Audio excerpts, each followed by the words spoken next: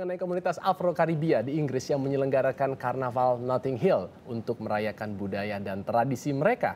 Karnaval Notting Hill ini sudah ada sejak 48 tahun yang lalu dan setiap perlatannya selalu sukses menyedot perhatian ribuan orang.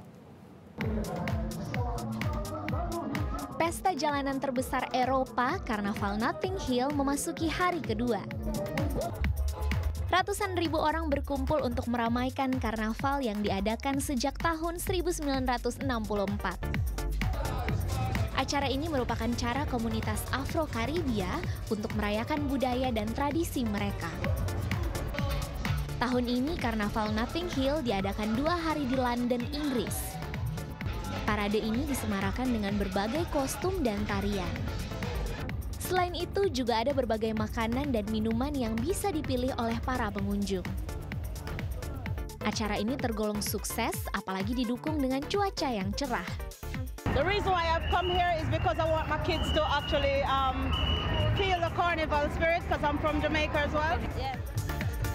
Setidaknya sudah ada satu juta orang yang ikut meramaikan karnaval ini selama dua hari. Acara ini setiap tahunnya diadakan saat liburan bank di bulan Agustus. Jalan London W11 menjadi lokasi tetap pagelaran karnaval ini.